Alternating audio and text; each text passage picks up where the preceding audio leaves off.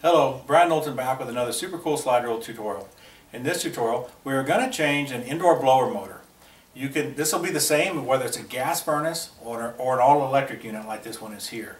The only tools we will need are, in, in my application, we have a uh, socket, but you may use a 5 16 or a quarter, whatever.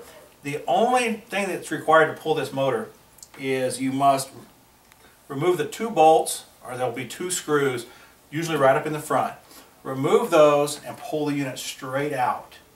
Um, start off by disconnecting all the power to the system. Make sure all the, I just turn off every two pole breaker in the panel. That way you know you're good. Once that is done, disconnect your wires to your motor. Mark down where they were exactly, or take a picture if you can with your with your smartphone. Pull the wires out.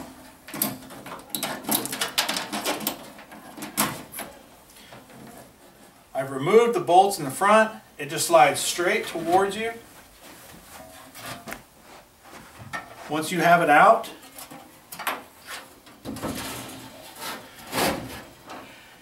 it's really much easier if you have the correct tools.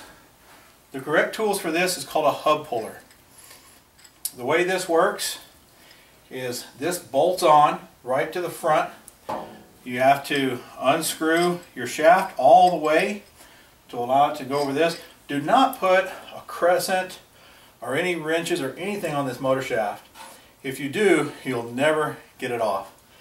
We'll loosen our set screw, clamp your puller on there. I'll be back in a second when I have that done. Okay, I've got my screw all the way backed out. I've got my set screws on the side completely loose.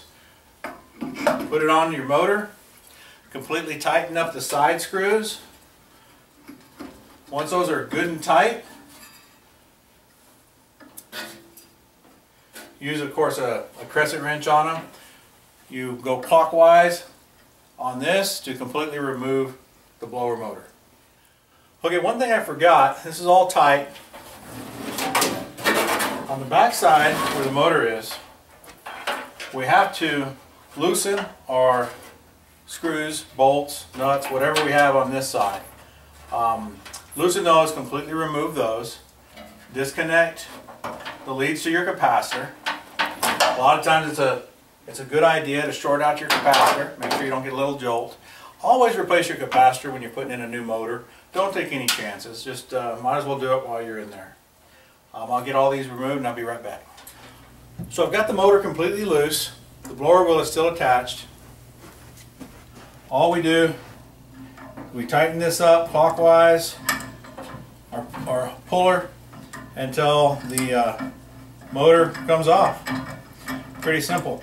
You may want to uh, support the motor on the other side. Don't manhandle it. Uh, this thing is kind of uh, sensitive, so just be careful there. Okay, I've completely tightened up my, my hub puller. Support the motor during the entire process. The motor is now loose pull it out.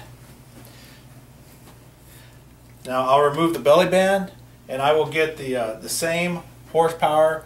It's also important to get the same amp draw. Um, I want to pay attention to the RPM, the amp draw, the horsepower. Get them all, you know, you really need to be within about 10% maximum. But I try to always match them up exactly. Okay, to remove the belly band, we remove the screw here, the bolt here, I mean. Um, pay attention to where the old motor was in relationship to the, to the band.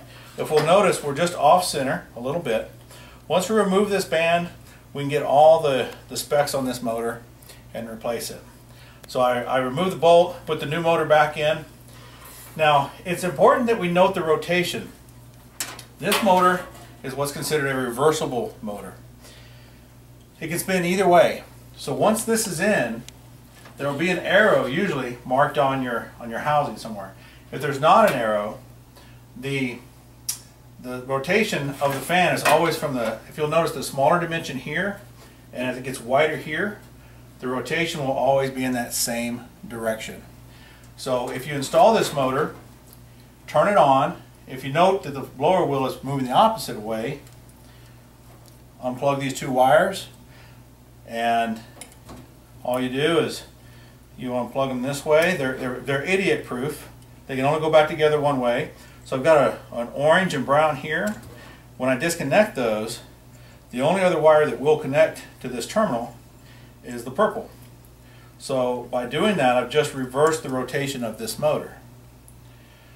So once the new motor is in, stick it back in. The first thing we're going to do is on the back side, very first thing is, is to put this in, in place, bolt it where it goes, um, and once we have it bolted in place, we'll put the, the wheel back on. And uh, when you go to set your set screw, once the wheel's back in place, you go to set your set screw, make sure that your blower housing um, assembly is centered. Okay, I'm going to pretend I put a new motor in here. I've got my new motor. It's all bolted back into the belly band where it goes. When I'm stabbing this, I put my blower wheel on as I'm doing it. Once I've got it in place there, I put my three screws or bolts back in place. Once that's done,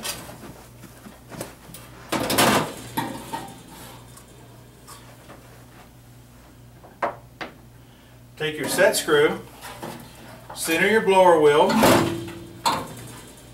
center it directly in the middle of the housing. Once it's good and centered and it's right where you want it, put your, your set screw back in, tighten everything up, and then we're ready to slide it back in. Okay, now to slide this back in, pay close attention to your rails. There's usually keepers on the side. You lift it up, slide it in, put your two bolts or set screws back in place, and then when wiring it back up, just wire your new motor back where your old um, terminals were. And that's it. I hope you enjoyed this tutorial. For more tutorials, please log on to www.supercoolsliderule.com. But please, please stay tuned while I introduce the Super Cool Slide Rule. It is the coolest tool in the HVAC industry. Thank you. I'd like to take a minute to introduce you to the coolest tool in the HVAC industry. Historically, technicians have carried four or five different slide rules. You have one for R22, one for R410A, one for metal duct sizing, one for flexible duct sizing, and yet others for diagnostics or troubleshooting. Thankfully, those days are gone. This one tool will allow you to charge a system with R22 or R410A in either the superheat or subcooling method the back cover contains required formulas, it has capacitors rules and practices, a wet bulb conversion chart, how to perform computations on series or parallel circuits, an electric heat strip guide, a complete system troubleshooting diagnostic chart, and how to troubleshoot compressors in TXV. Inside is packed with even more information. It performs sizing of both metal and flexible duct, it has the only direct reading conversion from smooth metal to insulation lined metal we've ever seen. The majority of technicians have never been taught that if the insulation is on the inside of the ductwork, you cannot size it with a regular duct calculator. It has step-by-step -step directions for determining airflow through a gas furnace, electric furnace, or an air conditioning unit. It has pressure drop multipliers for ductwork, as well as recommended velocities.